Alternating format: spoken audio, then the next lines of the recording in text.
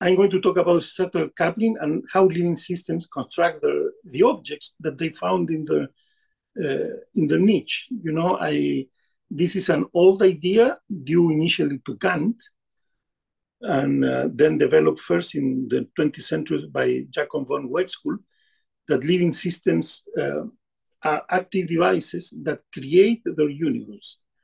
And um, then I'm going to talk about this idea and what we have been doing lately to, to, to advance. Then for the people who don't know, you know, I, I come from the lab of Maturana and Varela that they created many years ago in the University of Chile, that they created the idea of uh, autopoiesis. And the idea of autopoiesis is that um, an autopoietic network is a network that has two properties. First, it has a circular organization in the sense that it's a network of processes that produce components, and these components are essential to the existence of the processes that make them. This is the idea of circular organization. And the other idea is that uh, this network, by its very functioning, produce self-encapsulation and that this is the secret, according to Maturana and Varela, uh, the or this autopoietic organization is the real secret of uh, biological systems. And um, they uh, they created the idea around 1970, between 69 and 72, and this idea that self-fabrication, because this is a notion of self-fabrication, is the core of biological phenomena, phenomena is not new. Is, is at that time, before them, Robert Rosen, 10 years before at least, has published a theory called MR systems that is also a theory of self-fabrication that is a very obscure, obs- at that time, and for, for many, many, many years, it was a very obscure theory because Robert Rosen only wrote for himself then it has very appealing ideas, but um, for many, many years, nobody paid attention to the work of Rosen. Then these two ideas, autopoiesis and uh, MR systems, are more or, less, more or less interlinked. And if you want to read about these two theories, I recommend uh, two books. Rosen wrote at the end of his life in 1981 a book called Life Itself, where he summarized his um, his life work, and um, the big summary is that Rosen thought that he found a demonstration, a demonstration of how self-fabrication can logically appear in a, in a network of processes that uh, are coupled through the fabrication of components he thought that he has like a mathematical theorem. And um, um, from my viewpoint, this is a very appealing idea, but it's not correct. But even if it is not correct, it's extremely interesting, and we should dev- devote a lot of time about uh, to, to reinterpret Rosen. What is nice of the work of Rosen is that uh, he understood that self self fabrication can lead to anticipatory behaviors in systems with self-fabrication. Then in summary, Rosen tried to demonstrate how self-fabrication can appear in a network. And Maturana and Varela, on the other things, they, in the other, on the other side, they analyzed the consequence of self-fabrication, and the consequence in, for the immune system, for evolution. Uh, they didn't uh, try to demonstrate how self-fabrication arises, they put it like a axiom. You know, the central fact of living system is self-fabrication, and um, they put a lot of attention to the notion of autonomy. They demonstrate that self-fabricating systems will show autonomy, and uh, they wrote initially in Spanish, but that book, Autopoiesis and Cognition, was written, was published in 1990, in 1980. And from then on, it has been a veritable explosion of different works uh, exploring the notion of autopoiesis with different degrees of uh, quality. And I'm going to use a lot of uh, diagram in this presentation. This is the symbol of an autopoietic system, is the Ouroboros, the snake that eats itself. And remember that the important thing is self-fabrication and self-encapsulation. Also, very few people know that autopoiesis, that this theory about uh, metabolism and about self-fabrication, in fact, began as a theory about the organization of the nervous system by a paper that Maturana wrote in 69 in the then very advanced laboratory in Illinois University called Biological Computer Laboratories. And um, here is the fundamental idea. We are used to the computer metaphor where the brain capture external stimulus, analyzes, use, analyze the stimulus using logic that we think that is a universal tool, and then it produces a correct response. Yeah? Then this is the metaphor as the brain as a computer. On the other hand, Maturana in 1969 said, no, no, no, no, no, the brain doesn't analyze the, an external reality. The brain, the only thing that he does continuously, he's in a loop, action, perception, action, perception, and is in this loop that the objects are created. Then the nervous system does not analyze a reality, but it creates internal correlations between action and perception. Yeah. And because essentially a living system, also a very important point here, a living system is before anything, Ill, anything else an acting, acting device. They need to act. Perhaps they are the uh, self-fabrication, self-fabricating device, but they exist in a universe that demand action. And a living system always must answer the fundamental question, what to do next. And this is valid for a bacteria or for us or for a whale, for everything. And like in some sense, the fundamental question of a living system is to retreat or to advance. This is the ever-present question. Then you cannot analyze a living system in the void. Here I show that a living system is always in a relation, you know, a living system is always in, in a relation with the medium through action and perception. And here is a new concept in the theory. The living system is a relation between an organism and its medium. You understand? And I will put here perhaps a living system is in a relation between an autopoietic system and its medium. You know, they don't exist in a void. And here I will show you the next slide is the fundamental idea uh, that I'm going to touch today. And this is the idea that Maturana thought was his great contribution. And also Varela thought that was a great contribution. Maturana called this idea structural coupling and Varela enaction. And the idea is as follows. Here, uh, let me change my color a little. At the, no, at the right, not the left, you have a living system, you know, an autopoietic system that is in a very elementary relation with its medium.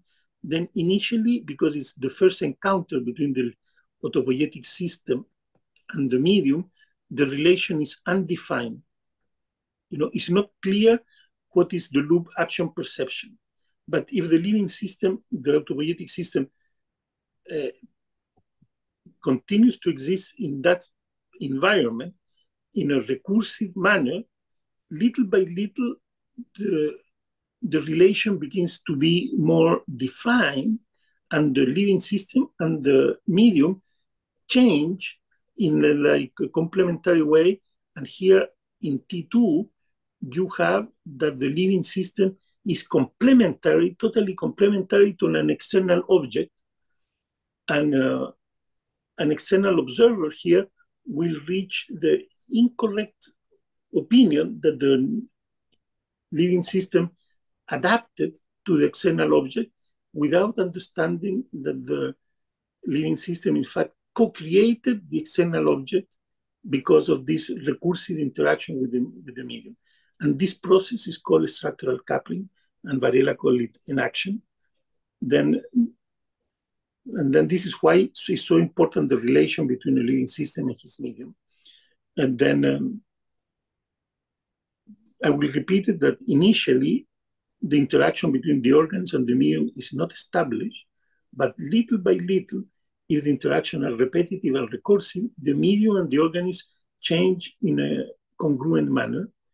And I must insist also that uh, a naive observer will think that the organism has adapted to the object, while the real phenomenon is totally different because the organism has produced, has organized an, a medium that didn't have, excuse me, didn't have a structure, has uh, organized the medium, excuse me, has organized the medium into an object. And here it's a very important thing to, this very theoretical idea can be put in the context of uh, Bayesian inference. And here you have the basic idea of how it happened. You have the medium here that affects the sensory lamina of the living system, and it produces it produces a, a very complex set of internal signals, and these internal signals are used by the organism to compute, in some sense, the future act, the action that the organism must must produce. Then the first step that the organism must take is to compute this probability is which is the probability that I am facing object X due to the fact that I am seeing the internal signal Si, F sub, sub i. Then the topogenetic organization inside the, the organism solves an, infer- in, an inferential problem. That is, what is the probability that I am facing object Y given that the internal signal are Sk? Then this is the, the core of, of the mathematical problem then you can make this idea a little more precise. Imagine that you have a, a universe with three objects, three objects, alpha, beta, and gamma, and every of these objects produce an internal signal. And, and these internal signals are not simple molecules, but are family of molecules, and they are very complex uh, manifolds of molecules. And then you have the, the internal signals that are produced and the object or actions. And then in every single second, in every single encounter between the organism and the medium, this uh, you have like a conditional conditional probability matrix that represent every entry of the matrix represent which probability that I am given a given object alpha, given that I am seeing the signal three, by example. And what is interesting is that you can consider uh, equation of an updating equation in order to transform this very generic um, this very generic formulation into an updating mechanism and transform it as a classifier. And in this way, it's very similar to the FEP theory of Dr. Friston. But in Chile, we don't think about this problem in this manner.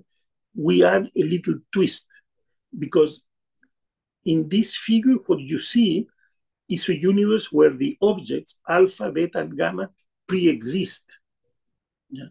Pre-exist to the organism, then this goes against against the grain of our theory, where the objects are produced by the encounter between the organism and the medium. Then the idea that is a classifier, we, we don't agree in that. We, um, we, we have another view that is as follows. Initially, then this is why this is called structural coupling, Bayesian inference, and object construction. Initially, when you have an organism that is facing a medium, he's facing like in a, he doesn't have a precision about which are the perturbations. You know, the perturbation can be many, many, many different things, which is the set of internal signals that every one of these perturbation triggers, and which are the actions that this organism takes. Then initially nothing is defined, not the signal, the actions, or the objects. Uh, then our idea, and this is what we're uh, developing now, is that an object then is like a random walk in the space of action and signals, because the organism initially he doesn't understand what an object, the boundaries between the different perturbation cannot be assignated to a given object or to another one. Then uh, you have in the phase space of action and signal, you have a random walk, and it's this particularly random walk that little by little is get it gets refined. That is an object. Then an object is this particularly trajectory, and um, then it's not a point. You know, it's not the final point in the trajectory.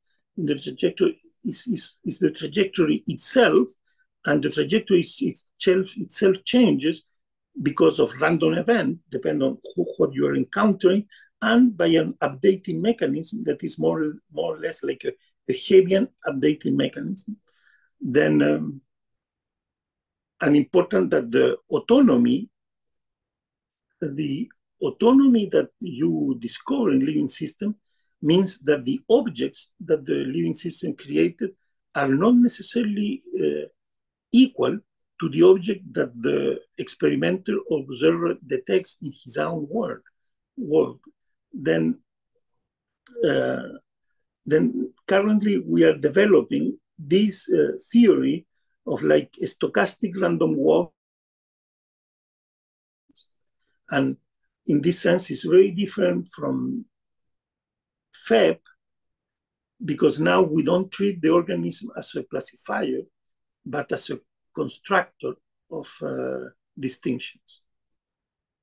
And after talking with uh, Wesley last week and seeing his wonderful setup, you can imagine how this theory can be applied to the neural culture that he's planning to use with this amazing technology of thousands and thousands of electrodes, where you uh, you, you obtain an electrical state of the network and this electrical state of the network constitute the actions of the network upon the environment that is defined by electrical stimulation and chemical stimulation, then an object could be a sequence of electrical and chemical stimulation. You know, an object could be a very complex, uh, complex chain of events, and um, that initially you will not discover easily what the, these objects are.